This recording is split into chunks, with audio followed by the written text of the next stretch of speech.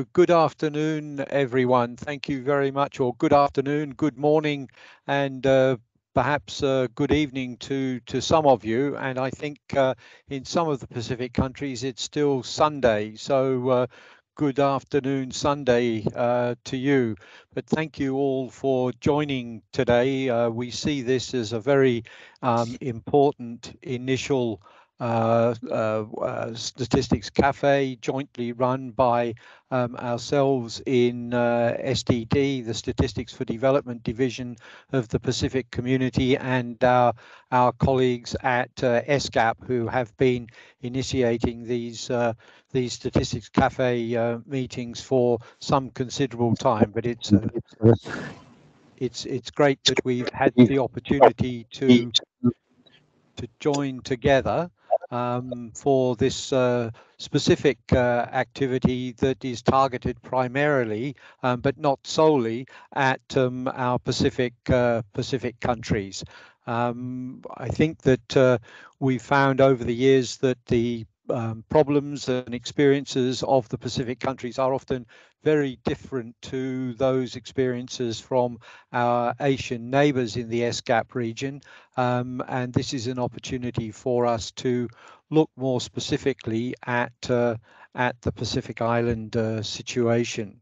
So this afternoon or today we have uh, we have hopefully, if everyone is able to join us, we have five presentations um, from uh, the Australian Bureau of Statistics, from uh, the Kiribati uh, National Statistics Office, uh, from uh, the Research and Development Branch of the Statistics Division in PNG, um, from the Fiji Bureau of Statistics, and our own Statistics for Development Division here. So without further ado, I will invite uh, Miss Judith uh, Coleman from the Australian Bureau of Statistics to open our proceedings. Judith is um, an acting director in the Data Integration and Services branch at the ABS and Judith's team uh, um, for their work, they acquire data from other agencies for the purpose of data integration, which I think is a really important aspect of the work that we are now looking at uh, across the Pacific region. And Judith has worked on the Australian data strategy, which is a model, I think, for many of us to, to look at.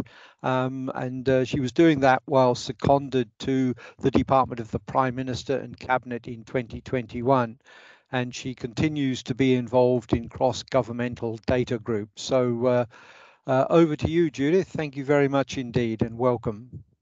Manny, thank you, David. Um, that's a lovely um, intro you've done there. Um, and hello to everyone else um, dialing in from all around the place. It's lovely to be here with you today.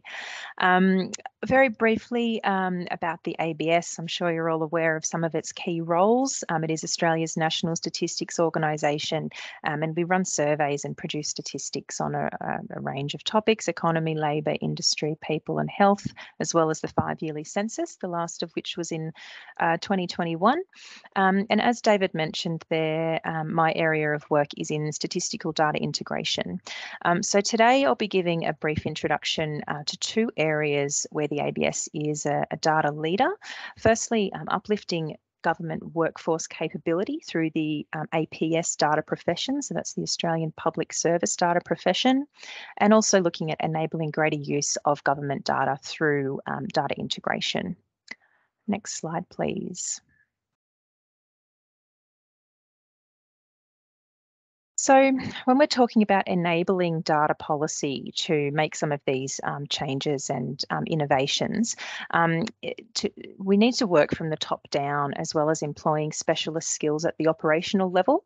Um, and there are varying capability and maturity levels across agencies um, that I uh, imagine there are some parallels with um, the different uh, groups that are dialing in today in terms of different data maturity and capability. So this is something we experience within Australian government as well. In terms of guiding the direction, um, this is uh, in our case set by whole of government um, drivers of data policy and data initiatives um, can be led by various agencies and in the public benefit. So some examples of government led cross agency um, data initiatives um, in the Australian government are the Australian Data Strategy, Um, we have an open data policy, um, and there is um, an AI ethics principles work that's being done as well, um, as well as the, uh, the National Data Disability Asset, which is a huge undertaking currently underway. Um, and in terms of legislation that enables this, um, we have this year had the Data Availability and Transparency Act um, ratified, and that's something that's currently being implemented across agencies and is expected to increase our capability for sharing data between agencies um, from that from that legislative um, standpoint.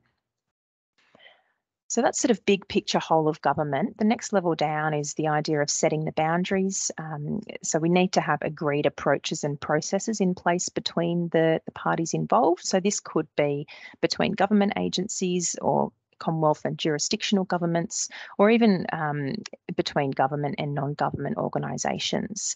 So some of the key um, things we need in place here are partnerships and, and agreements, um, and also operating models so that there are common visions and goals that, um, that the involved parties are all working towards.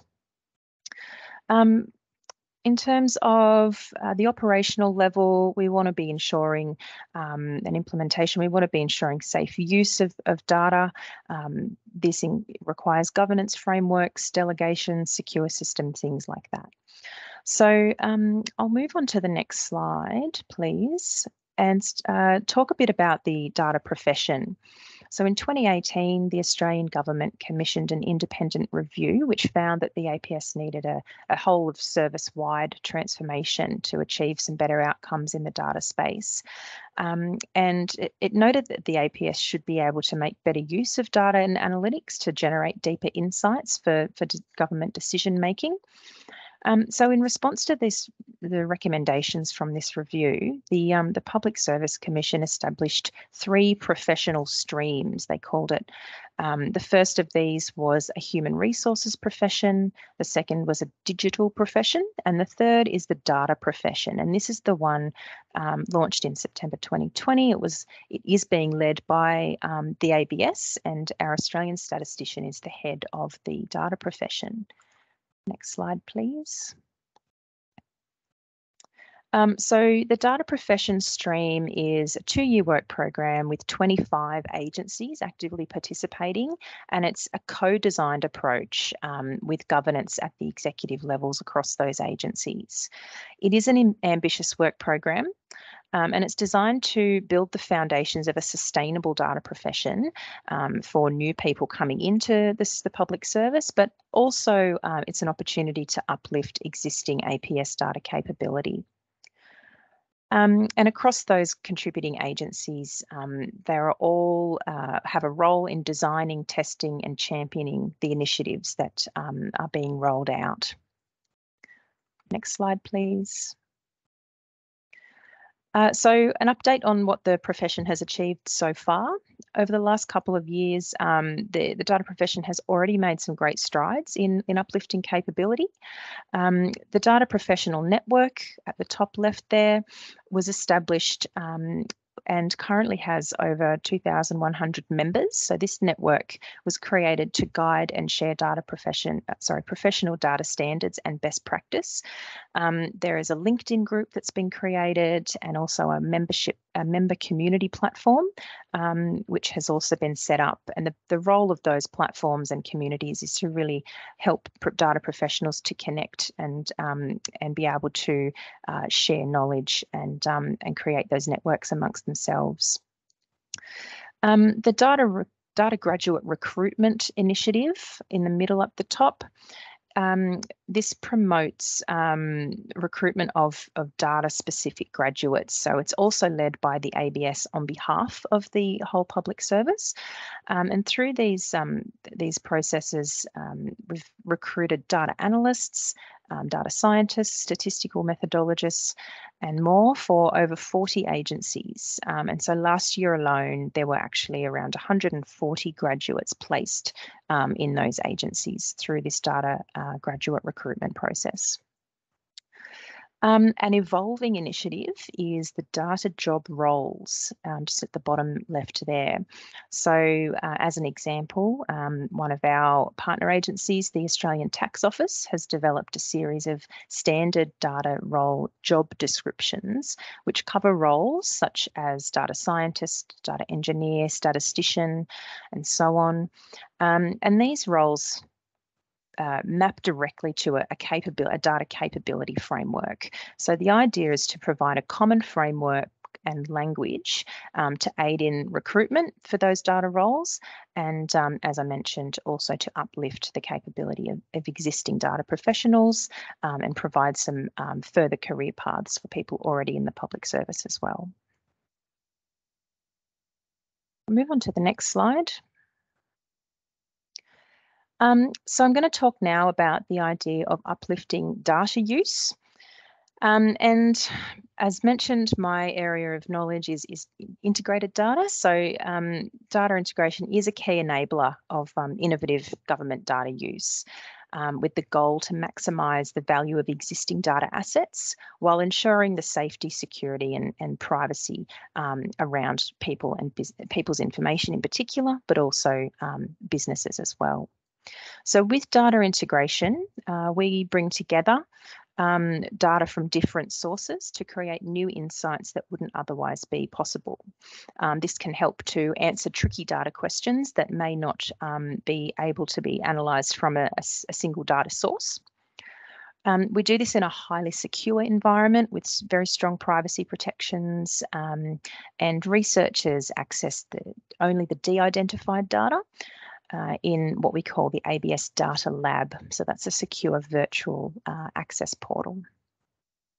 Um, there are hundreds of research projects that have been generated using ABS integrated data, and that's across a wide variety of research topics. So the examples I've got on here um, are an education project, um, one which is around environmental disaster response, the heatwaves one, and um, a labour market example um, about tracking the um, real-time uh, economic changes in the labour market. Um, we take a privacy by design approach um, to data integration. Uh, we take that very seriously. We consult with the public around changes in how we're using and handling their personal information. Um, and the goal, overarching goal of that really is to um, build and maintain the trust of the public without which um, none of none of our operations would be would be possible. Next slide, please.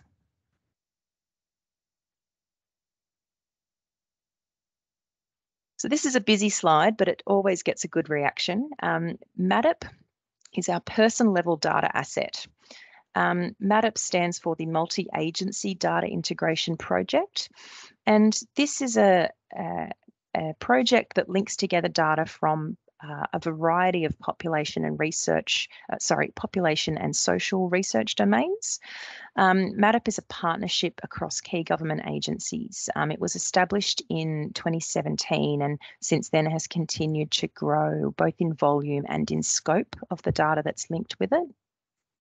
Um, it includes administrative data from across government, such as social payments information, migration data, and personal income tax information. But MADIP also has other types of ABS data. Um, the census is linked, um, along with some important ABS surveys, particularly um, in the space of health and disability. So um, I hope these slides will be shared with the group. Um, I know that these, this one and the next one are a lot to take in. So please have a look in your own time and follow the web links if you do want to learn a bit more. Next slide, please. Um, we have an equivalent data asset for bringing together business level data across government as well.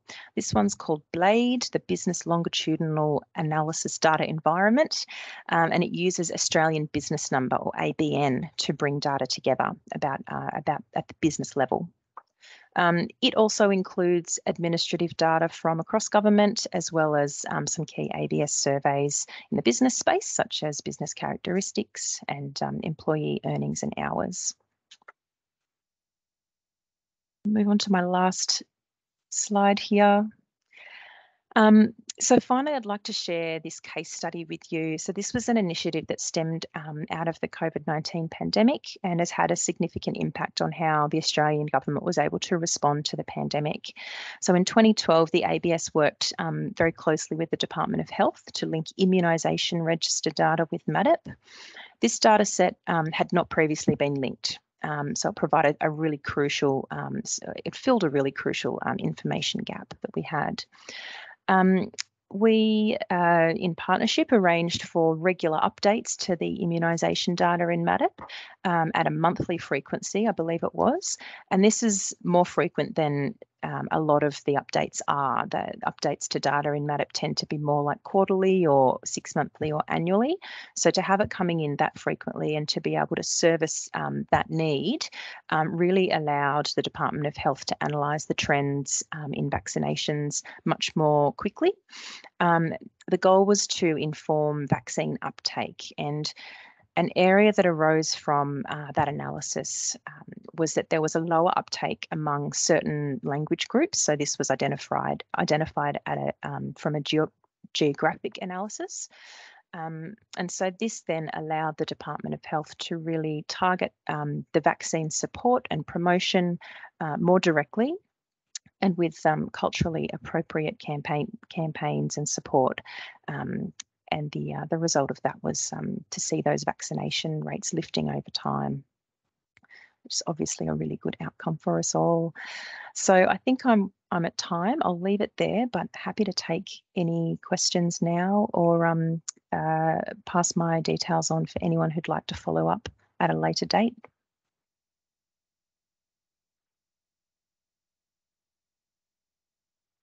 Thank you very much indeed, Judith. That was a really uh, interesting presentation and, and shows, uh, I think, uh, to us all the importance that um, that Australia, the ABS in particular, um, are putting on on data data integration. I think it's something that um, many of our Pacific member countries uh, could could take uh, take stock of in a sense because quite often we look at data in a very siloed way and we're not using as much data integration as we could. And I think that uh, uh, making that data more widely available to everyone so that they can see the integration will uh, will certainly help to encourage people to become more uh, statistically literate so that um, we can then begin to make a lot more of the data that we are all collecting um, almost by the day, but uh, which often doesn't uh, doesn't as get doesn't get as much exposure as um, as it would be desirable. So perhaps now we can we can move on. Um, do we have uh, Orewa here? Is she, has she joined? Uh, yeah, I uh, yeah I see she's here. Orewa, so could I invite you to discuss a little bit about um, about the situation in Kiribati, please. For those of uh, you who uh, are not aware, Orewa is uh, engaged in the collection and compilation, analysis and dissemination of statistical information in Kiribati uh, relating to commercial, industrial and social indicators for the Kiribati population. And uh, Orewa is the uh, is the deputy Republican statistician for um, the Kiribati National Statistics Office. So Orewa, can I uh, can I invite you to make your presentation and welcome this afternoon? Thank you.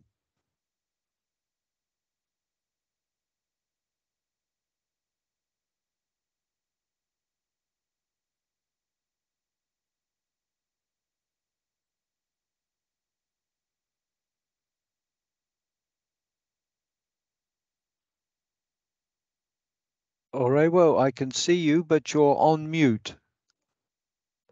Oh, okay. Uh, sorry. Have you There we a presentation co copy with you guys? Or Nadim, um, are we showing uh, Orewa's? Yeah, yeah, it's ah, on the here we screen. are. It's on the screen. okay, okay, okay. That is uh, this- uh, try to provide this presentation, but I need to present on behalf of Arista because she's very busy today. So that is that the presentation is based on the data literacy in Kiribati.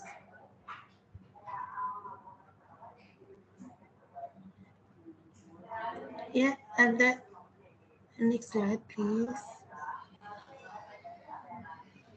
Okay, that is the content of the, the presentation, the types of data collected, the NSS, and the data uses in policy making, statistical literacy, way forward, and training gaps. That is the content of the presentation today.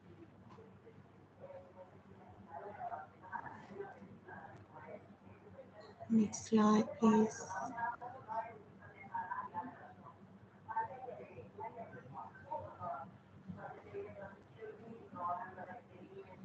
Is the types of data collected in Kiribati. There is the primary data collected, secondary and big data, which contains the primary contains the survey data, the census data, and um, in the secondary, all administrative data from data sources. Pro, private data sources are not part of the collection. And the, the last one for the big data, no collection has been done. And we'd like to include include it, that in the law. But that's that for the the, the data and the knowledge and the understanding of how to collect the data.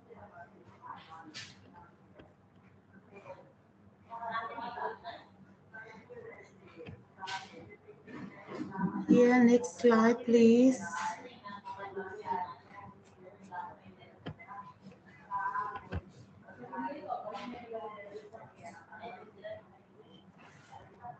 Hello, are you hear me?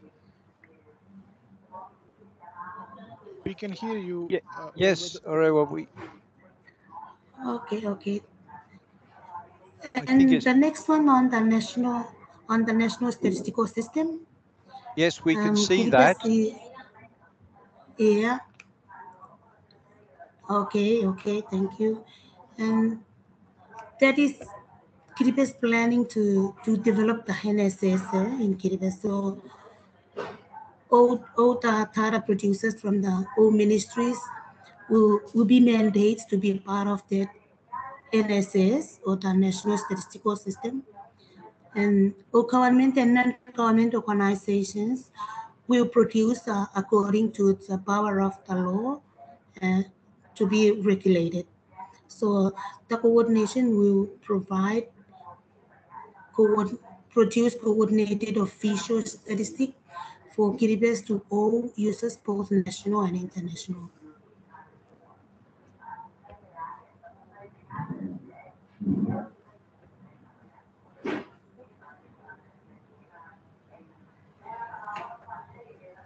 And the next, the next slide is is based on the reality of using data for policy making.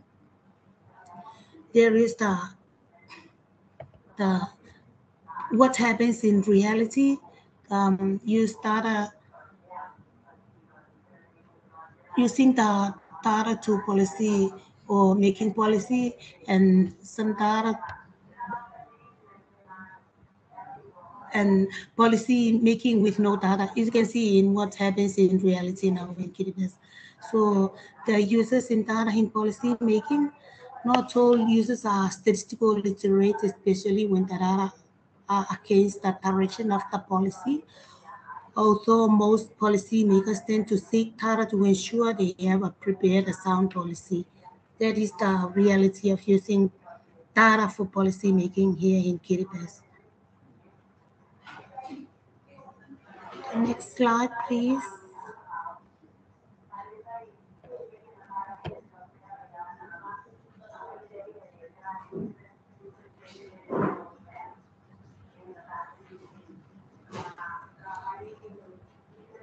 In the statistical literacy, literacy project, at this stage in Kiribati, there is no program that formally, formally carry out to increase the statistical literacy in Kiribati but all requests are studied to ensure users understand the data they requested. For example, we often were called to present to Parliament to present the data that we have.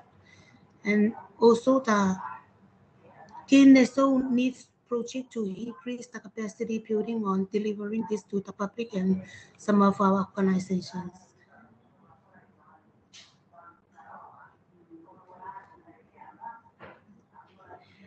And the way forward for this presentation is um, more education or encourage new curriculum, more workshops or training with users, and more effective ways of dissemination or reaching out of the population. And for the training caps, the data analysis and writing statistical reports, we need that one. And there is a, a, an effective dissemination method and there is a statistical calculations that is the cap that we have in Kiribati.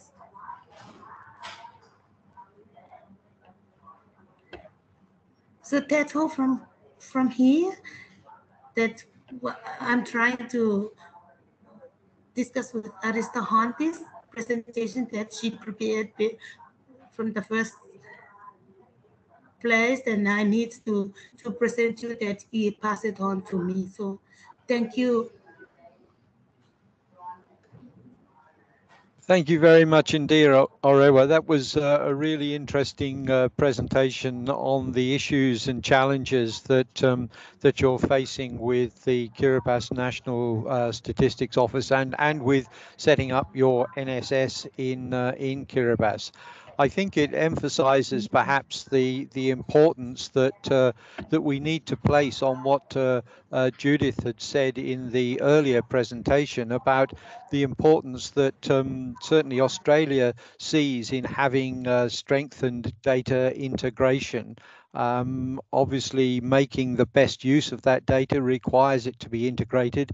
And in order to be integrated, um, we need to have high quality statistical literacy. So I think there's there's you know, uh, uh, something that uh, that Kiribati can really aspire to, and uh, obviously those of us uh, in training institutions such as SDD and ESCAP and uh, SIAP and the other um, agencies around the region and within the wider um, global uh, economic system, um, we can learn a lot from what you have said in terms of what the what the needs are in terms of analysis um, and dissemination and uh, being able to do the statistical calculations and understand those calculations. So thank you very much indeed. We'll perhaps come back to you with some questions uh, later on, but now let's uh, let's move on um, to Sarah from uh, Papua New Guinea. Is Sarah online? Um, David, can we request that she be presenting at the last because she's still oh. having a problem with the connection? Connection. Okay, fine. So uh, I think we've already seen Isikeli online. So can I ask uh, Mr. Isikeli uh, Senebulu from uh, the Fiji Bureau of Statistics to um, to make his presentation on the um, Fiji experience of statistics literacy and uh, data integration for um, for a bit of bio on Isikeli. Um, Isikeli provides timely and expert advice on all corporate services, coordinates for the planning, preparation and implementation of the department's capacity um, and development activities. So I think that's a really good uh, uh, area to be involved with when we're talking about statistics literacy. So over to you, Isikeli. Thank you very much. Mr. MC, Mr. David Abbott, the Australian Bureau of Statistics uh, Managing Director, Mr. Judith uh, Coleman, the Director for the Statistic Advisor, Mr. Nadim, and uh, my Pacific re representative and my fellow participant. Bulavinaka to you all. I will be on behalf of the Chief Executive for the Fiji Bureau of Statistics and members of the Senior Executive Forum and my fellow colleagues here in Fiji uh, for the Department of Statistics, known as the Fiji Bureau of Statistics, will, on behalf of them, I will be delivering the uh, Stats Cafe, in this Stats Cafe for the statistical literacy for Fiji. Next slide, please. Okay, these are on the importance of uh, statistical literacy in the policy making process. Uh, there is a need to link the volumes of data and policy making process. Uh, this is with regards to the NSO uh, producing different types of statistics and for it to be effectively uh, used by policymakers, they should be able to understand these statistical reports so that appropriate policy recommendation could be made to government. uh, bullet point number two, the lack of effective uh, utilization of data due to lack of data analysis efforts. The stakeholders uh, do not have the right uh, data analysis skills to effectively utilize uh, detailed data available at the NSOs. Uh, next is on the communicating the policy objectives and outcomes required adequate statistical literacy to communicate statistical information. Uh, this with regards to when we're able to convince uh, stakeholders for policy formulation and implementation if we're able to support it with relevant statistical information. And uh, the number four, the statistical literacy is required to set goals uh, at uh, for national development plans, monitor them and document um, uh, progress and ways forward. Uh, if people are statistically literate, they would be able to analyze and understand uh, the issues and concerns shown through the different types of statistics. Next slide, please. Okay, the common uh, the common challenges for policymakers to use official statistics, uh, lack of understanding on statistical outputs and its methods. Uh, proper methodology guide, uh, guides are not available for some statistical compilations uh, access to disaggregated data. Sometimes stakeholders do not get the detailed data they need, and this would limit uh, uh, their data analysis and suggestion. Uh, the lack of human resources to monitor, evaluate detailed activity data, the lack of statistical analysis expertise for effective use of data for policy making process, the high staff uh, turnover and lack of statistical training. And uh, lastly, uh, similar to bullet point one, lack of te technical manuals, guidelines, standards, and classification, standardized coding and definitions. Next, please. So what can be done to address the, the challenge of statistical literacy in the public sector? Uh, first is capacity building plan that could address the following areas, covering NSOs, NSS, and planners, uh, particularly in the Pacific. Uh, data processing, uh, data analysis, uh, validation, and report writing, statistical uh, forecasting, use of statistical software for different needs, analysis, and dissemination and uh, communicating data to stakeholders.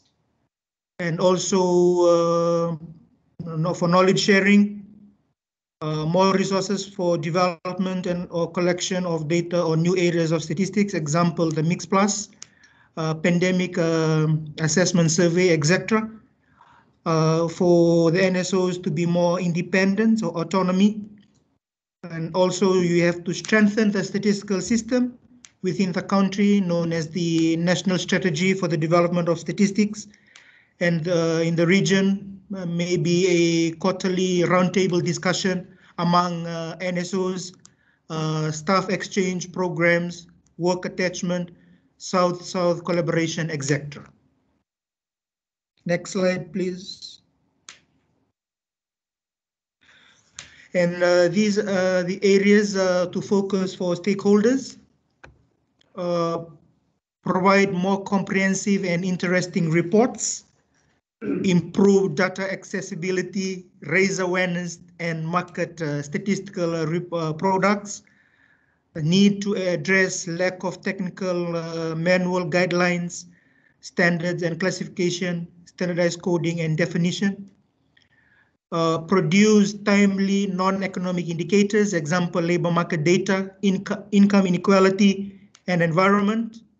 Uh, then more data analysis should be undertaken for statistical products, improve timeliness for statistical outputs, regularly consultative review of current publication, upskilled employees with the latest uh, statistical system, harmonize methodologi methodological approaches to survey across all government departments, and uh, finally, the need to strengthen collaboration, communication with uh, stakeholders.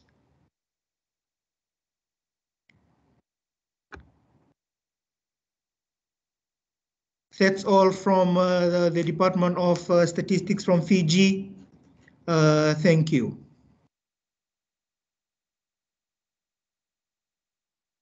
Thank you, Isekeli. That um, that's an interesting discussion. Um, I, I, think uh, it's interesting too that uh, many of the problems that um, and challenges that uh, are being faced in in Fiji around building statistical literacy and the use of data are, are in fact quite common between um, your office in the Fiji Bureau and and the much smaller office in the Kiribati uh, NSO. Um, so although there is a quite a big difference between the number of staff that are employed in the in the two statistics offices, the challenges that are being faced are, are very similar and, and they very much point to the need for more data integration. They they point to the need for greater sharing of data, and I think that's very important to note that um, much of the data that you were saying in your in your final slide there um, about uh, making more use of the data much of that is in fact administrative data or can um, be obtained from administrative data resources. So I think it's something that uh, many many governments need to perhaps pay more attention to. And this is something indeed that uh, over the last uh, couple of years during the COVID period that uh, we at SDD and, and also I think in uh, ESCAP have been encouraging governments to make more um, administrative data available for um, easy and quick analysis because it's it's quite clear that in many countries a lot of uh, administrative data is collected on a very regular and quite frequent basis and whilst it might not necessarily be always 100% or um, really completely up to date it is often very much better than not having any data at all. And I think it's uh, really important to to make uh, make that point across to the national statistical systems, um, whether you're just developing them as they are in in Kiribati or in Fiji, where you've had a, a national strategy for the development of statistics for some time, and uh, maybe more um, emphasis can be given to implementing that aspect of it, the sharing of the data that um, that many government ministries could provide. So having said that, it's a very interesting progression. Um, I wonder, do we yet have um, Sarah from Papua New Guinea on board? Sorry, David, I think uh, you need to make uh, the last presenter. Okay, well, I'm very sorry, everyone. It seems that um, the the gremlins of the uh, the communication system across the Pacific have got us once again. Um, but I'm very pleased to say that we have uh, Nadim Akhtar, um, one of our key staff here at SDD in uh, in the Pacific community, who will now um, give us an overview. I think uh, Nadim joined SDD quite recently uh, in March of this year um, and brings quite a lot of about 15 years experience um, in statistics capacity development and, and analysis. And I'm sure that Nadim has been taking many notes um, of what has been said today because Nadim will be leading uh, much of our work in capacity development over the coming coming years and uh, noting the gaps um, and the training needs that have been mentioned by both uh, by both uh, Kiribati and uh, Isekeli from Fiji, I think he will have a very full notepad to um, to work from. So Nadim, over to you. Thank you. Thank you very much, David. And thank you very, uh, very much, everyone. So very interesting discussion happening here about the statistical literacy and the capacity development in the region. So I will be just discussing some of the points um, around the topic and we'll be trying to uh, give an overview of the Pacific. So let me know if everyone can see my presentation, my slides or not. We can see it. Okay, so it is in the presentation format. Yes. Okay, great. Thank you very much.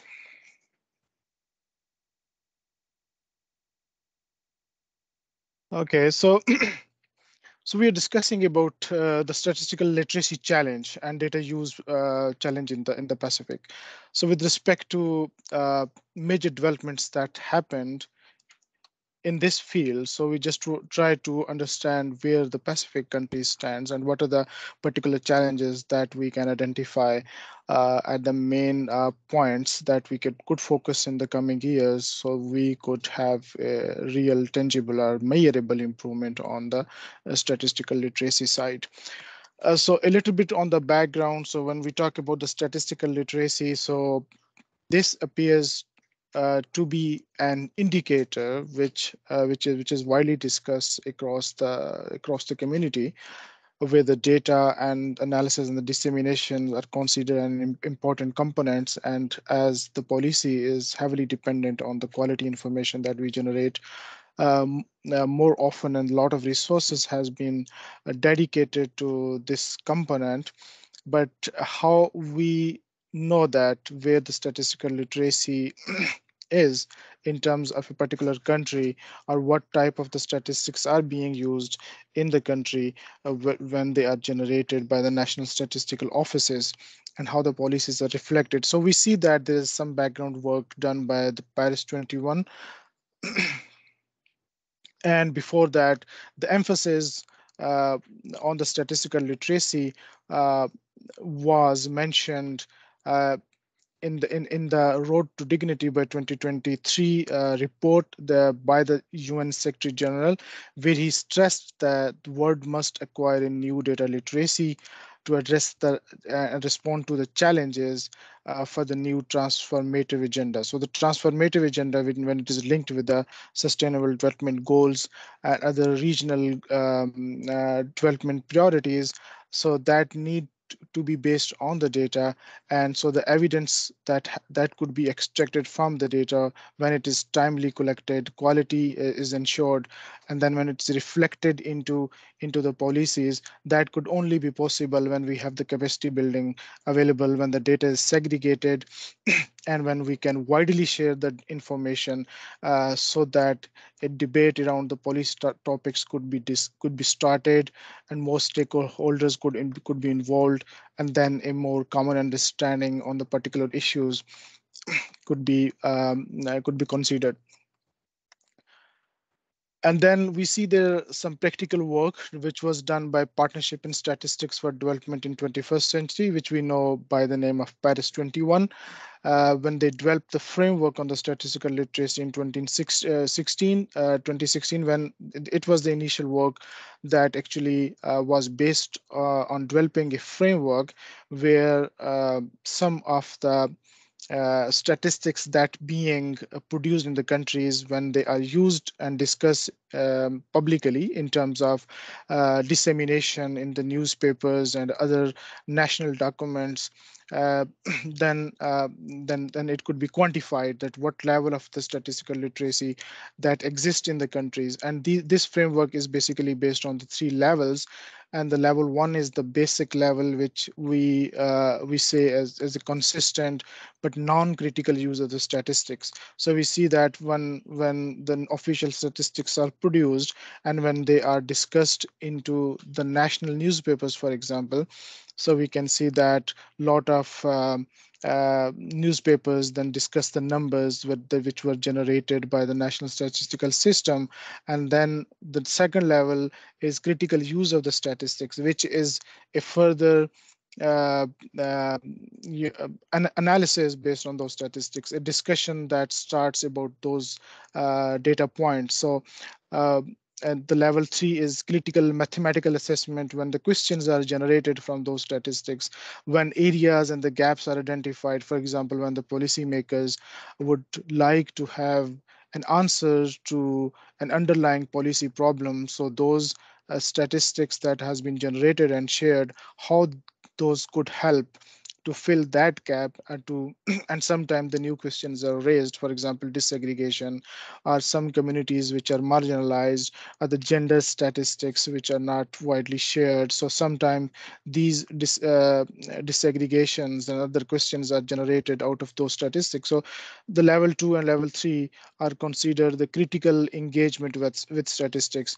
that actually is process for the policy making and when we talk about these levels, so we see that uh, we could, when when this frame was framework was developed, we see that uh, lot of information for different countries was available when uh, it was generated. So this was this is actually a text mining exercise, um, which is um, uh, which is an analysis, statistical analysis of the information that has been produced. But we can see that a lot of countries in the Pacific um, were actually, sorry, not part of the initial uh, framework that was being developed at that time. Uh, so we we see that there is no statistics and this is the level one. So level one is basically talks about uh, the basic mention of the numbers which are uh, which could be the the population of the country um, uh, which could be about the financial indicators which could be about uh, gender indicators or the sdg progress uh, something like that. But that was not part of uh, the initial um, findings. And then we have the level two which is critical engagement with the stat, uh, with the statistics, and we we we can see still see that the Pacific countries uh, there was no um, uh, uh progress of the data men, uh, uh, mentioned into the into the framework. Probably either they were not covered or there was a not lot of information available. Um, so the ranking of the Pacific countries on these indicators of the levels could be could be shown here. But we see that over the time, this uh, this has start start emerging for the Pacific. So for the Pacific from 2017 onward, we can see that the baseline values for some countries in the Pacific, not all countries here. Uh, there are very few countries, particularly these are the only countries which are part of the International Development Association. Uh, these are the group members of the World Bank, um, which normally the World Bank publish the data on, on many of the different aspects of their national economies and the population statistics and all those areas. And we see that and those countries were having some sort of uh, representation on the statistical literacy. So we can see that overall, sorry, overall in Eastern Asia, we see that uh, in um, the trend on the level one was decreasing, uh, but the level two and level three a little bit uh, take over, uh, particularly the level three, which is the critical engagement of the statistics when uh, we analyze in depth the, the numbers that we have. But for the Fiji, we see that uh, there was a uh, there is a little decrease in the level one uh, over the time, but the level one, which is the basic mentioning of the statistic generated, was much higher than the level one and level two. And similarly for the Kiribati, we have decreasing trend uh, and there there is a uh, the level two is almost uh, constant over, over over the over the time, and level three was also um, decreasing. But the data was only available from 2018 up to 2019. So after that, no data is available. In Micronesia, we have the critical. Um, I, I mean, this figure is a little bit critical in the way that the level one has increased. And when we look at um, this increase, so only the COVID, when the COVID uh, started, uh, affecting the community. So the statistics, the basic statistics, the number of the people affected, the vaccination, and all those things were started discussing in the in the, the national newspapers and the national documents. And then we see that there is a in 2020 there is a real increase into the level one um, in the statistical literacy. And Solomon Island we have uh, uh, an increasing trend for the level one, but uh, the other two levels are stagnant over the time. In Tonga we have level uh, one and level two a little bit increasing. The level three is uh, stagnant over the over the period. Uh, Tuvalu, the, I mean, we can see from all countries that the level one are basically uh, it is higher than the other other other two levels. Uh, for Tuvalu, we see that there is a constant increase in dimension of the statistics and level two, which is uh, uh, somehow a little bit analysis, further analysis on the statistics taking part from 2019 to 22. This is probably again related to the sum of the analysis of the COVID statistics which were related to the health uh, issues and the uh, and the vaccinations uh, and the, the people who were affected by the COVID. And same was the situation for the Vanuatu. So this is some sort of uh, mathematical measurement that happened on statistical literacy, but there's a uh, there's an uh, there's a lot of uh, countries in the and in the Pacific for which we don't know what level of the statistics are being discussed at the national level. Okay, so there, here's a little bit of uh, hypothetical uh, example in which, for example, uh, every country is now signatory of the sustainable development goals. So we have the international commitments, we have the national and the regional commitments.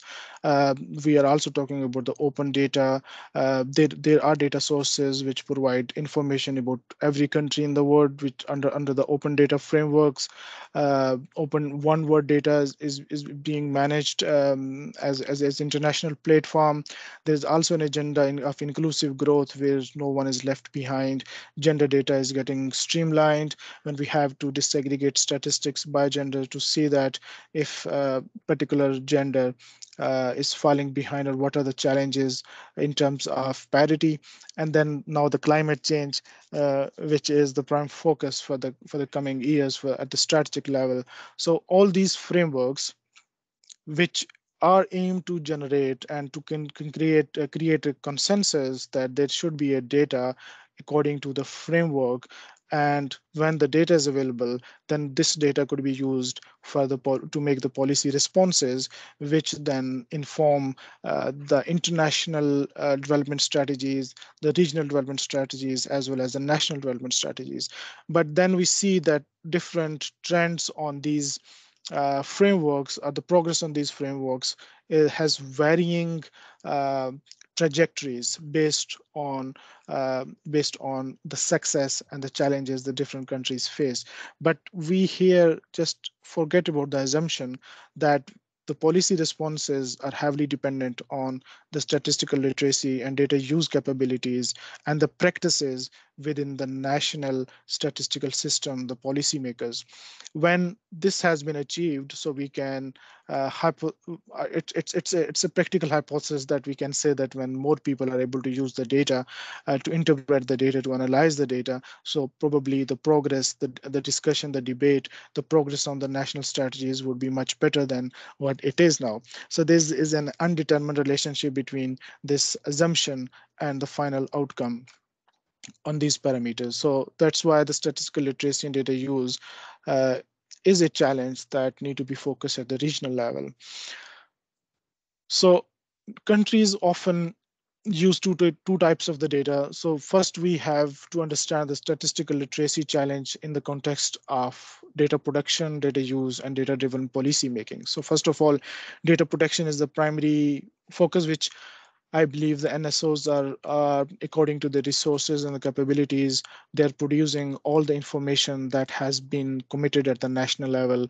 Um, uh, so then the data is produced and how effectively the society is using that data to address the complex challenges is is, is the basic basic uh, question for everyone to uh, to see that how we are getting benefit of the data. But when we could use the data, then how that data actually reflects into the policy making. Because when we develop the national development plans, we develop the national monitoring strategies of the of the goals that we set at the regional level or the national level, even at the international level when we talk about the SDGs. So then we have to see that how that data could actually influence the policies. So there are two type of the data sets. I'm not spending a lot of time here because uh, uh, it's it's a very big subject. So normally official statistics that come through the censuses, administrative uh, data sources, and uh, socioeconomic surveys. So this is um, a periodic uh, production of the data, which, for example, census uh, normally are done after 10 years and the other surveys like the household economic integrated uh, economic surveys are done every five years so they can inform on the poverty and the policy making for the social protection and all these things. So sdgs for example could come through different uh, household surveys. Uh, so this is more uh,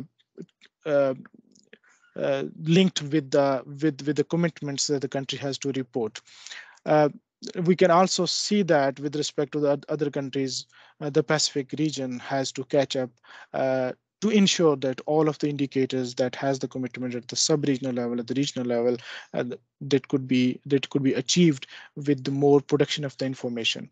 And then the second stage is more real-time use of the data, which which sometimes is not the population representative, but uh, it, it could address the specific challenges. Um, for example, data collect to the mobile phones, the traffic signals, and all those areas which could address the uh, particular challenges for example there are accidents happening in particular uh, time frame during du during the during the day and during the night then we can see we can measure the uh, what's happening. We can then uh, you know decide on the on, on the speed limits monitoring of those particular roads and areas. So this is mostly addressed. But this is i believe there's the next challenge uh, that the Pacific, when meeting the first challenge of producing all the data that is required under the um, official commitments to report the SDGs, then the next challenge is that how uh, the more uh, advanced and real-time data use could be could be ensured. And then um, when we talk about the statistical literacy, it is also very important that we address the data production uh, gaps. So when we have data production gaps. So this also means that there's a limitation for, for the policymakers. So whenever they try to look into the data, or for example, when they try to update their policies at the national level, so when they go back on the on, on the data producer available, so there's a gap. So this is a limitation which hinders uh, the more uh, progressive way of using the statistics for the policy making. This is a little snapshot uh, on the economic indicators uh, from the Pacific countries, which we, we, we can see that out of the core 31 economic indicators. So there's a different uh, levels of achievement. Uh, Fiji is 90%, so this is the highest among all the other countries, but there are countries really falling uh, behind, we can say that they need to invest more on data uh, data production before that data could be made available for the policymakers uh, to use that. For example, we can see the American Samoa and Samoa. Uh, American Samoa is just 23%, uh, Tuvalu is just 16%. Uh, and the rest are have uh, also have the different uh, variabilities in this regard. So this is the one challenge before the statistical literacy. And at the same time, we see that there is no information available in some of the some of the dimensions which which are particularly about, uh, uh, uh, about the labor statistics, commodity prices, poverty is also um, an area where the more data is required to be produced on regular basis to monitor the progress and so to see that how the vulnerabilities at the population level uh, fluctuate fluctuate due to the uh, other problems or the natural uh, natural disasters or, uh, or the economic shocks and also we have to have some information on the the natural resource management and the climate change which is also a new priority for the region so when we talk about the SDGs as the more um, uh, committed, or you can say uh, widely known field. And among all the Pacific countries, so we can, could identify only two countries where we can we can see the trend of SDG index. So for Fiji, we see that there is an increasing trend and it is a more linear uh, with respect to the PNG particularly and 2020 has affected uh, the COVID, which is the COVID pandemic, has affected somehow uh, the progress on the SDG index. Um, but from 20, from 2000 to 2021 there is a real progress significant progress happened on the SDG um, uh, index. But when you look at the the png so we see that it's a little bit uh, broken relationship in the way that we it it's it's it it goes up and it goes down um, uh, so this sometimes means that there, there sometimes the the data that needs to be collected was not collected so there's no, no information available on the achievement of the indicators. Uh, so the index value goes down for example when it is not available for some indicators and available for some indicators the, then the index value goes down and then sometimes index values goes up. So there is also a need within the pacific to uh, to identify the resources uh, uh, for the SDGs as well. So this is just one example in this regard. But when we when we move from the uh, Fiji and PNG, so we have a Pacific roadmap uh, towards a sustainable development, uh, which talks about the Pacific countries only.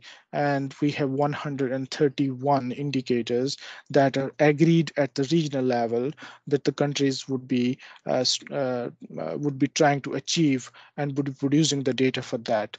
So this is just an example from uh, first quadrennial Pacific Sustainable Development Report that was produced in 2018 and the, with an example of three pillars. So first pillar, for example, talks about the prosperity and economic development, which has 23 indicators under this pillar, and we see that only 11 of those indicators have information available and that information is not from all countries. So this is uh, the real gap in data production. Uh, similarly for for the pillar another pillar which is people and social development we have 48 indicators. Uh, for and out of 48 we have 28 indicators covered and rest of uh, the indicators there's no information available. And for the pillar three which is planet and sustainable environment management out of 33 uh, indicators for this pillar there is only 11 indicators for which the information is available. So production challenge still persists for the Pacific. Uh, more work need to be done.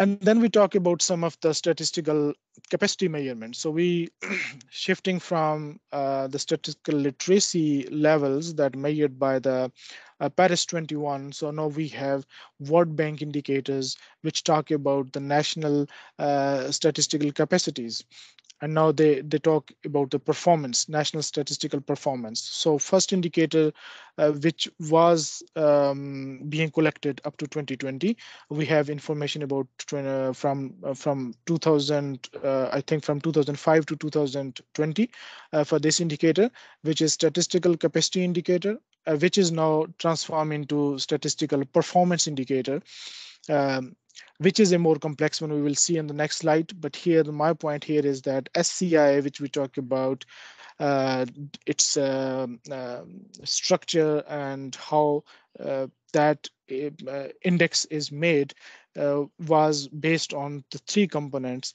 three dimensions, which was a methodology, source data, and periodicity.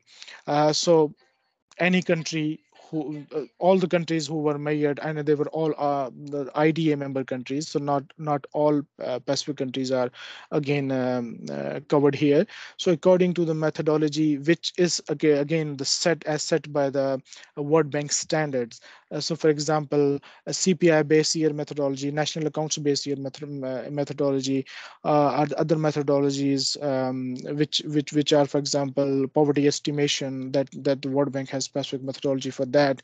So they were ranking the um, uh, the countries based on uh, on the methodological approach and the standard methodology that uh, the World Bank um, was requiring that every NSO and every NSS actually adhere to. and then source data, which is that from which type of the source that the particular data is coming. So is it censuses, it, these are the surveys, uh, this is the wild, wild registration system, and then the periodicity. So uh, for example, for the SDGs and for the poverty, for the uh, for the clean drinking water, uh, these sort of the thematic areas which were covered. So how, how the countries are basically um, making sure that every year or every five year, whatever the periodicity is set for particular surveys, they're actually adhering to that uh, requirement. So this uh, SCI looked more relevant uh, in terms of what what's happening into the low income countries in terms of um, the statistical performance. But when we uh, when we look at these uh, parameters, so these are the two examples, which are again from the Pacific region. The first, uh, uh, the three blocks in a row are from the Kiribati, the below three blocks are from, from Fiji. So we can see that on the methodological side, so Kiribati was having uh, low score, uh, but, but the Fiji was having a little bit high score with respect to that.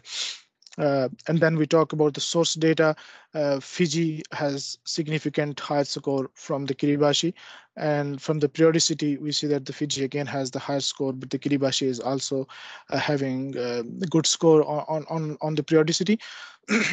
so here, before we uh, can discuss about the, the statistical performance indicator, here the important point is that still there is a challenge here in the Pacific that before we progress or make a more advanced or complex in, in index for the for the statistical performance first we have to make sure that all these uh, on these dimensions the countries actually uh, are are progressed. They have achieved the minimum standards uh, so that they are ready to uh, to take up on the next challenge so this is the next challenge, which is statistical performance indicator.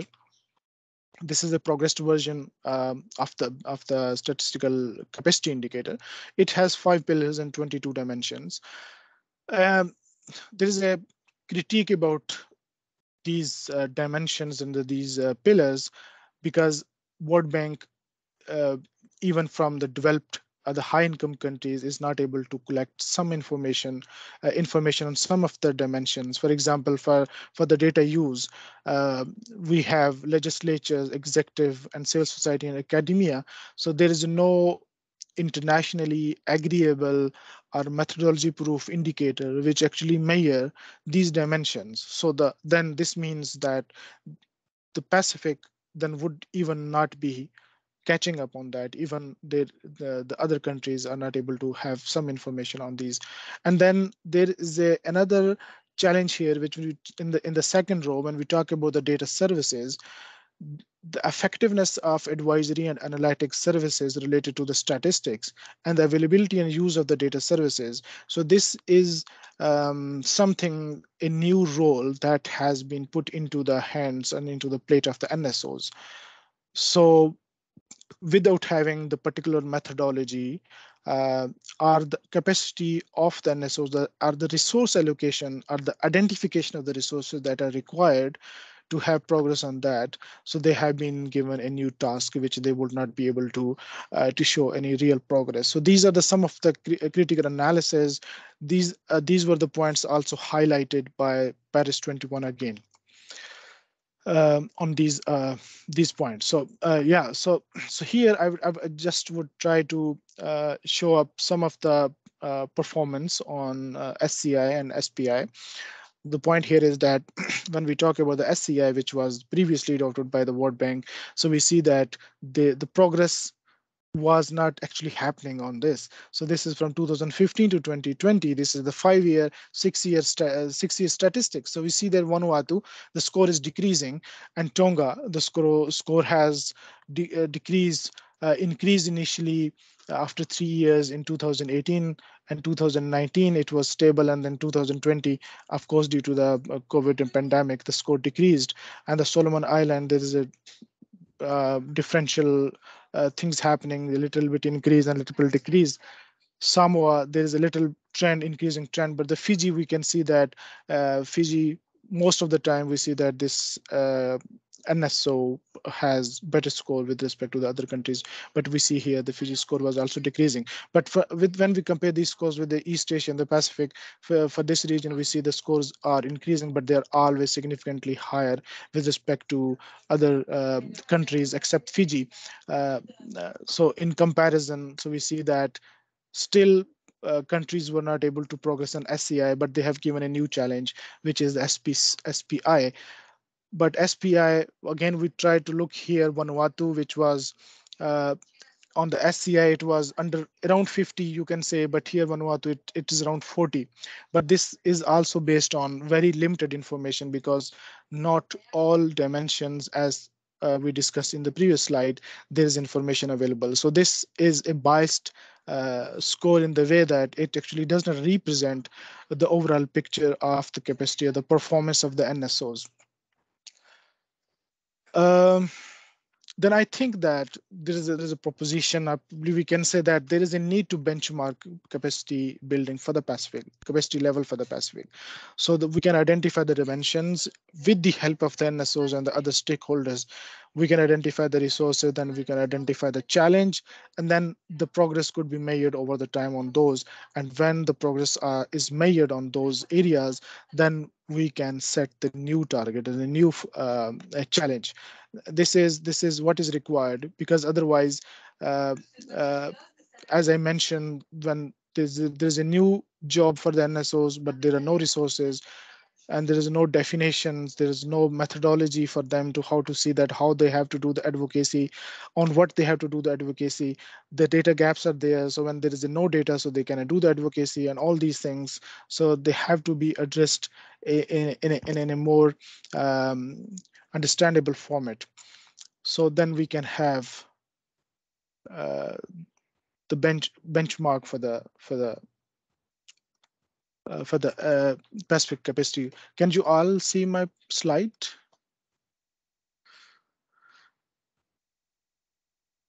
Yep.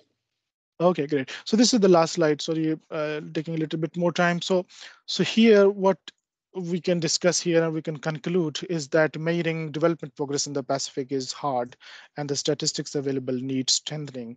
Uh, there would be better data-driven policy making process in the Pacific if there were more statistical literacy, uh, particularly in the public sector, to make the more most of what data is available. Um, but measuring statistical literacy capacity is also hard and existing benchmarks for the Pacific are incomplete or sometimes are otherwise flawed we could have better results for statistical capacity building if we could target users better uh, and had a clear understanding of where the data analysis capacity gaps actually is. Uh, so also here, when we talk about the data users, so we actually don't exactly know who are the data users uh, in the Pacific for all the, the data that has been produced in the countries. Uh, and we also, because we don't know the users, so we also don't know what data gap uh, in their perspective exist in the Pacific. Uh, so thank you very much. Um, and that's all from my side. Any questions are most welcome. Thank, thank you very much, Nadim, for that um, very comprehensive overview. Um, I think we have uh, some time left now for questions. Do we have any questions in the chat or does has anybody uh, sent any questions by email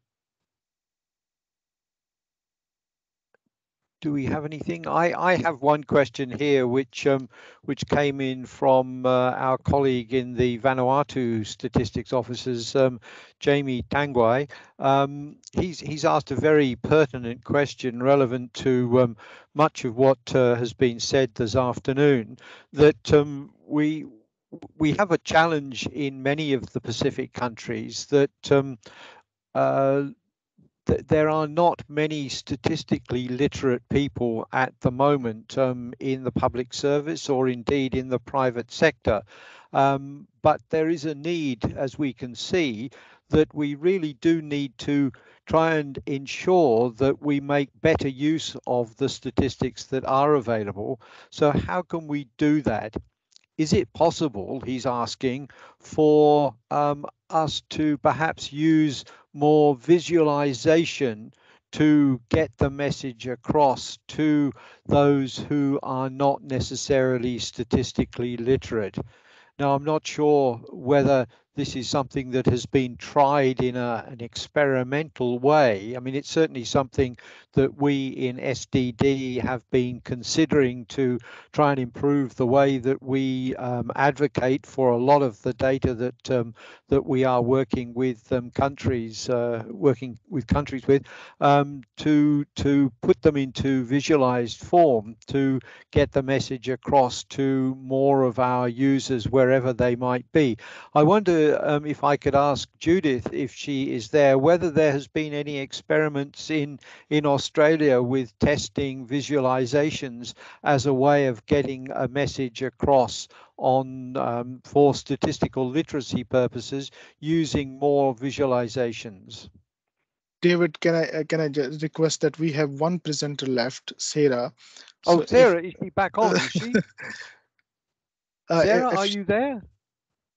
I I probably present uh, Nadim uh, David David for No- Sarah. no Oh, problem. See Yeah, yeah. okay.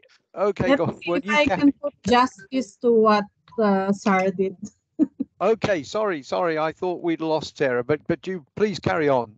we can just address these questions after this presentation uh, from PNG. Yeah, can someone share the screen?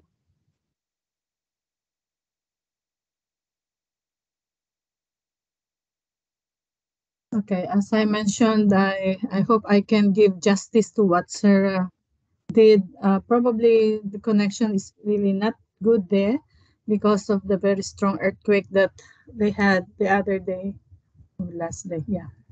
So next slide, please. This is just a quick presentation um, on the NSO background and then uh, the one that we're doing for data literacy and appreciation plans, its status.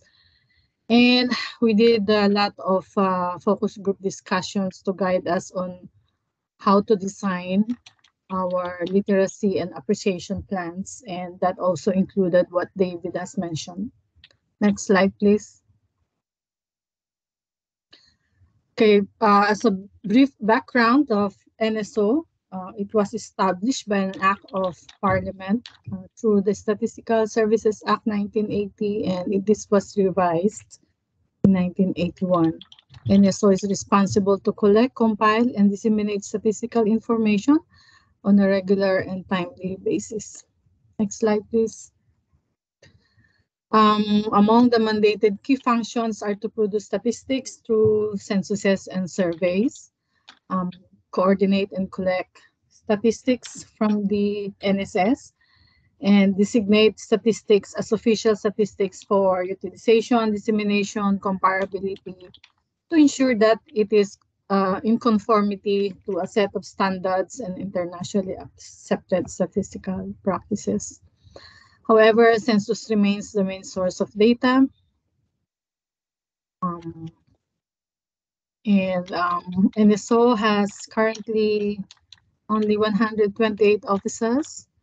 In 2011 census population, um, it recorded about 7.2 million population, or in short, um, there is one officer for every 57,000 population in PNG. Um, they don't have the um, sub-national um, officers yet. Um, there's only one or two with officer in the provinces, but the rest are mainly um, at the national level. Thank you. Next slide, please. The censuses that were undertaken so far, um, there were four and we were supposed to have the 2020 census, but it was deferred due to COVID-19 and uh, of course the funding deficit that we had. Um, also, NSO conducted three demographic and health surveys, 96, 2006, and um, the last one was in 2016 up to 2018. Um, the household income and expenditure survey was also collected. Next slide, please. Next, please. Um, now, we, we have other data collection exercises through the uh, funding su support from the Australian government and technical support from uh, UNFPA. So we have what we call the population model estimation. This is an innovative approach to generate quick population counts for the country through the use of high resolution satellite images with a combination of available data sets as inputs into a statistical model. So this is the first time ever in the Pacific that will be um, uh, used. This is particularly being utilized for areas where or countries where data collection or censuses is not possible or data collection is not complete. And then we have a nationally representative sample survey, which we call the socio-demographic and economic survey, aims to generate important socio-demographic and economic indicators that can be used to monitor targets and uh, for the SDGs, Medium-Term Development Plan 3, PNG Vision 2050, and the National Population Policy and other monitoring tools. Uh, we have just conclude, uh, conducted this. The enumeration was uh, completed and we are now doing the processing. Thank you, please. Next slide. Uh, pres presently, NSO is conducting the following uh, one is what we call the data, data literacy program. And uh, soon we will be doing the provincial differential analysis, which focuses on uh, demographic dividend. Now, NSO has also its price survey, establishment survey, and international migration. The users, we have um, different users as well. And next slide, next slide, please.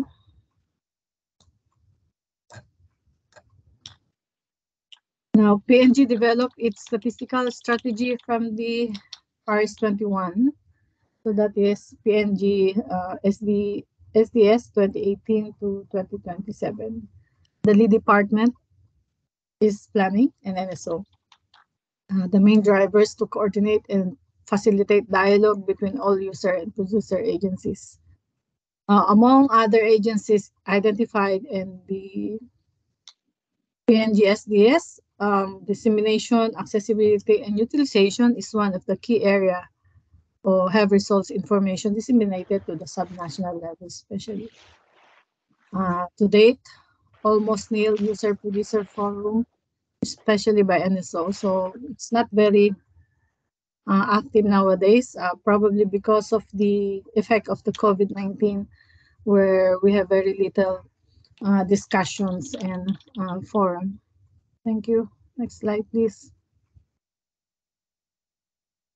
Now, what, what type of analysis um, uh, NSO is currently doing is very basic. Uh, for uh, very complex analysis like uh, fertility, mortality, these are being outsourced, usually being done by um, consultants, international consultants. And uh, NSO has important users such as the national departments, provincial and local level government, research institutions, academe, private sector, and the media. Next, please. Now, given the very few censuses and surveys, it is expected that um, the data literacy in the country is very low. The country had very little exposure to the understanding of the importance of the data how the data is collected, how it is preserved, how the data is used for decision making and others, and how to analyze and interpret the data. Um, so we have a very big problem actually in PNG because um, even uh, some some information in the media are correct incorrectly stated. So um, it's it's a very huge problem on data literacy that we are planning really to at least start um, to, to educate the people, especially the planners. Hence, there's a need to plan to devise clear messages and communicate to target audiences. Thank you. Next slide, please. Now, as I mentioned, uh, we are currently conducting the focus group discussions with different groups of data users to determine the level of awareness and understanding of the data, the accessibility of the data, and their recommendations to improve the accessibility, the knowledge on where to access the data and what type of data they are using, what format is more understandable, useful for users. Uh, with that information, we will be able to design the data literacy and appreciation materials. Then after that, we will conduct the series of data literacy and appreciation works, workshops in all the 22 provinces with the provincial planners, the academe, the youth, the media, um, and probably the local level government planners as well. Next slide, please. So we, as I mentioned, we have the target targeted audiences to include national government, subnational that includes provincial districts, LLG, uh, civil society and advocates, youth and civil society, media and journalists and academics. Next slide. And we had conducted so far the FGDs for the youth, the media, the civil society, the national and provincial governments, the academe, and these were all conducted from May to September 2022. Next slide, please. Uh, so we managed to gather some uh, information from them and we just tried whether they know something about the population of PNG and uh, they have guessed because as I mentioned, the last census was in 2011. So right now they are just guessing what is the estimate for uh, population of PNG in 2022. So the, the information they gave was that uh, population was from 9.1 to 10.9 million. And that the NSO is the most common source of population data. Next slide, please. When asked about challenges to using data, respondents said they need more training. I think this is also part of the data, data literacy program that we are supposed to um, conduct and uh, design. Um, in that discussion, the two most common reasons for not using the data were the data is outdated, and that is really true. The data is not publicly available and requesting information is time consuming and difficult. This is a very good information in designing the data uh, literacy program for PNG. Another um, area is that um, when they were asked uh, how do they prefer uh, to, to receive the data or to access the data. So they said that they prefer using large data sets online rather than in print. Okay, next slide, please. Um, the partial results from the FGD gave some preliminary indication of the level of understanding and the need for training in understanding the results produced. However, prior to the FGDs, there was also an indication of how data and factual numbers are perceived. There was little to no demand for the need for data or rather there was no avenue for the data users to voice, to voice their need for data. So everyone is just guessing because we don't have actual, aside from low, lit, low level of literacy, uh, there's not much data in the country. So there's a need to produce data. And then you also uh, couple that with data literacy activities and programs. it's like this So the data literacy program has to identify the needs via FGDs and to use the results to design programs to educate and build for data. And we have started this journey. Now with assistance of SPC, UNFPA, and other partners, we can do more in the statistical literacy domain. This is the first activity for uh, PNG and we hope that we will be able to manage and sustain this activity. Next slide, please. Okay, what are the next steps? As I mentioned, there's a need to develop data literacy and appreciation materials given the information that we got from the FGDs. Then conduct the data literacy and appreciation workshop in 22 provinces. We're hoping to start that in November up to March 2023. And um, provide some information or data appreciation visibility in events such as the Statistics Day, the Media and Information Literacy Week, the World Population Day. Um, also, um, November 15 for the event award with uh, 8 billion. Next slide, please. Okay, that's the last slide. Um, so as I mentioned, uh, this this uh, four activities is through the Australian government and UNFPA. Thank you.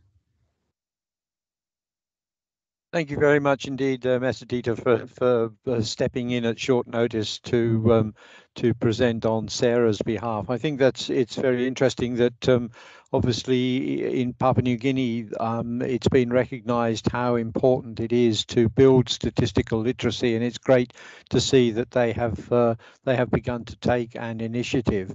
Um, I throw it open. We we actually passed our, our hour and a half at the moment, but just before we do, I um, posed a question to Judith. Unfortunately, Judith has had to uh, to leave, but uh, what she has uh, mentioned is that uh, the the data profession, um, the data professional, uh, what did she call it? The um, the data profession that um, across the public service in Australia is is a, an important step um, that uh, if you can establish a more uh, professional approach to statistics and understand of, understanding of statistics among a wider community of um, those who are interested in statistics, then it will make a, a, a, big difference. And this is something that I think we could aspire to um, in partnership with um, with ESCAP and with uh,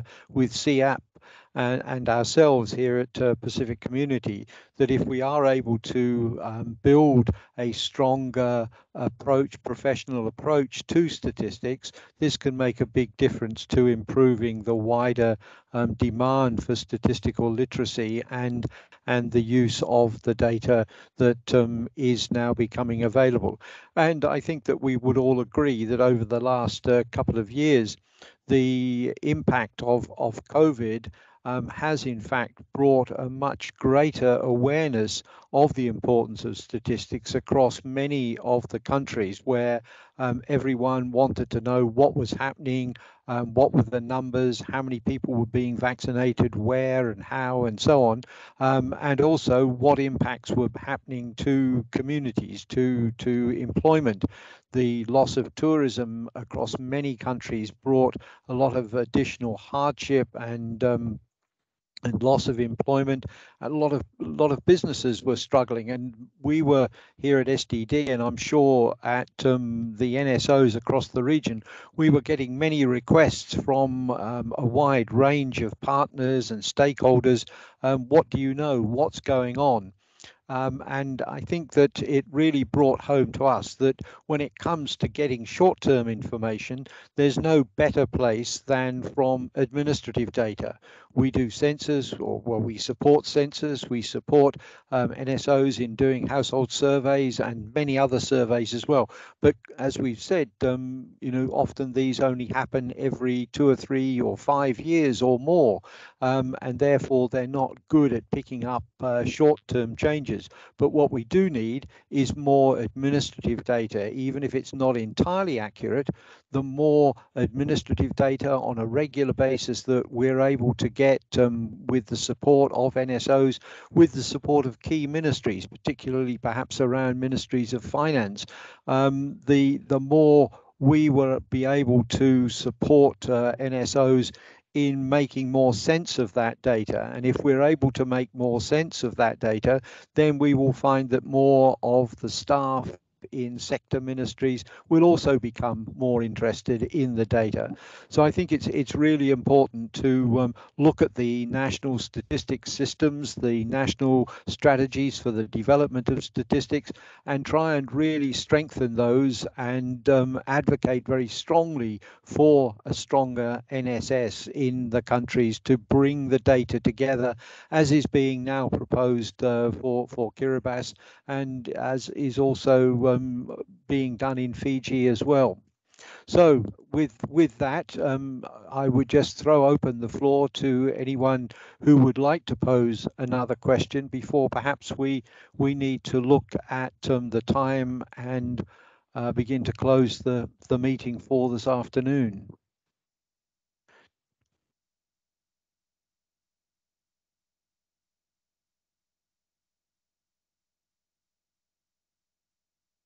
Peter, I, I, I can see that you've posted a couple of um, points in the um, in the chat column. W would you like to just say something as as the director of STD? Oh no, thank you. Well, this was great uh, hearing all that. It's all very interesting. I'm particularly interested in the challenge of how we can promote the statistical literacy in in you know the likes of Kiribati and PNG. It's really interesting to hear those uh, those talks. And um, but from the ABS angle, I'm interested in the, this idea of the data professionals. So what I was just saying in the chat was, is there something that could apply in the Pacific? And that's a genuine question for the people who are working every day in the Pacific. This idea of promoting data professionals who aren't necessarily working in the National Statistics Office, but still most of their work is on data.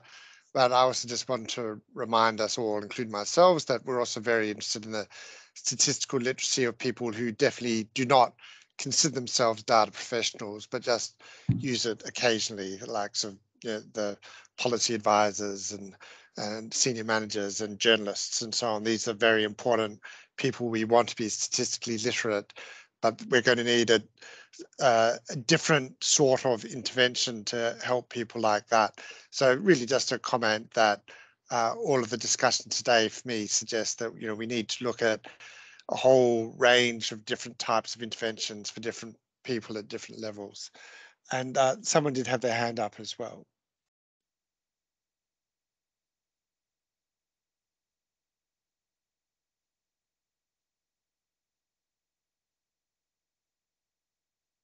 Sorry, Leota um, at uh, Samoa Statistics Bureau, please go ahead. Well, thank you, David. Uh, thank you, Peter, and thank you to all the uh, all the presenters who have made uh, this effort for the uh, for today's uh, meeting. I, I, I was quite impressed with some of the developments, especially with the Australian sort of data integration uh, sort of ideas in which we shared a few months ago. but my question to Australia is how, like how, you know, how would they assist the Pacific Island countries uh, in promoting that sort of idea, uh, and how willing are they to to to provide technical assistance uh, uh in that sense? Uh, so that would be my first question. The, the my second uh, just a comment with regards to Uh, our friend uh, who is the new advisor in the SPC in terms of capacity building. Uh, especially where he was uh, more presenting uh, in relative to the SDG and the international sort of indicators. but I think there was it's it's very important that uh, we should also consider national indicator national priorities indicators uh, at the national level because uh, you know that's where literacy and understanding of the data should be well fitted uh, because there are other international indicators which could not be obtained and could not be relevant to to the uh, at the country level.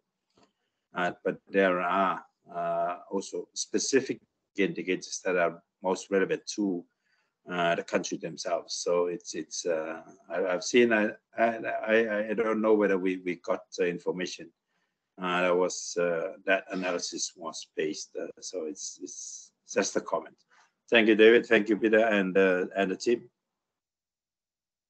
thank you very much. I would I would just like to comment on on the national indicators. So so thank you very much. This is very valid and important point here. As uh, during the presentation, I mentioned that we don't know um, the data users. So, so this is this is how we have to dig in with the help of the national um, stakeholders, the NSOs, and the other stakeholders in the NSS to see that when uh, what are the national indicators as per the national development plans. So uh, those are very important. So we intend to work with the national stakeholders to make it sure that what whatever the national indicators are, they are uh, they are reflecting the official statistics that has been produced at the in the country level. That could also help us to identify the gaps that, for example, the, what type of the data that is not available to benchmark the goals, uh, the indicators, which are the national indicators. So uh, in this regard, because this is a platform where we cannot have a more wide or uh, long-term engagement to answer all these questions. So in this regard, we um, we are trying to set up the workshops where we uh, will be inviting everyone in, interested in the stakeholders to come forward and discuss with our with us all these challenges so we can just identify all these problems and then we can work together uh, to address uh, these points. Thank you very much.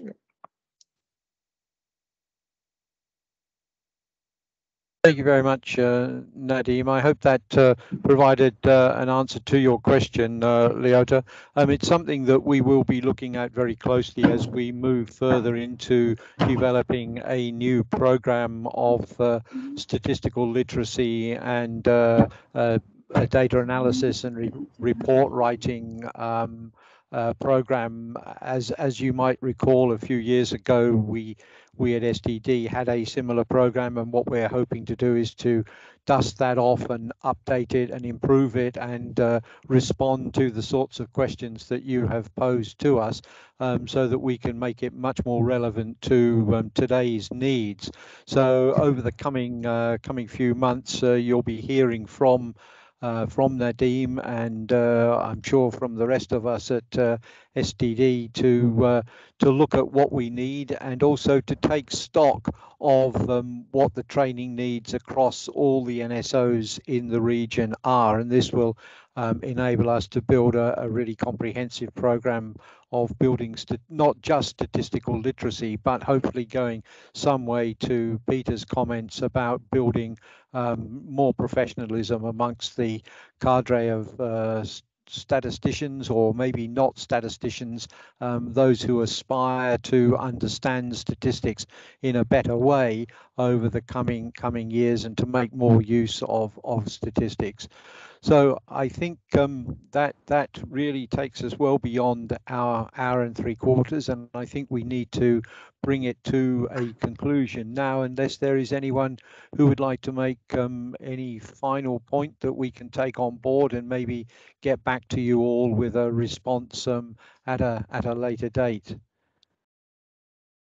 Uh, David, I think there, there is a first part of the Leota question which was more related to um, ABS. So uh, probably, well, yeah, so we can need to contact ABS to see that what are the opportunities uh, they can explore to work with the countries for the data integration. Yes, this is something that we will take up with with ABS in, in our discussions with them, and we'll flag uh, the the discussion that we've had, the question that uh, Leota has uh, has posed, and uh, raise this with them during our next uh, next consultations with with ABS about the future program of statistics in the region. So with with uh, no further ado, I would like to thank you all and thank you very much indeed for staying on for this extra uh, 15 minutes or so. Um, I'm hope that you've all found it useful and uh, the recordings and the presentations will be on the on the website uh, very shortly and we'll notify you when that that occurs um, and we will be following up with many of you in the coming weeks to take this uh, whole program of statistical literacy and the capacity development um, forward to the next stage. So once again, thank you to our friends and colleagues in ESCAP for all the efforts that they've uh, put into managing the, the ESCAP side of our, our Stats Cafe today. Thanks, Nadine, for all your work and uh, all our colleagues here at uh, SDD. And especially thank you all of you who have uh, contributed, especially our five presenters from um, from ABS, from Kiribati, from uh, Fiji, um, and uh, Mer from uh, from I'm not quite sure whether you're ESCAP. I can't see exactly where you are, but thank you for presenting on behalf of PNG. Um, and thanks, Nadim. And thank you all very much indeed. And good afternoon to you all. And we'll be in touch in the very near future. Thank you and Thanks all. goodbye.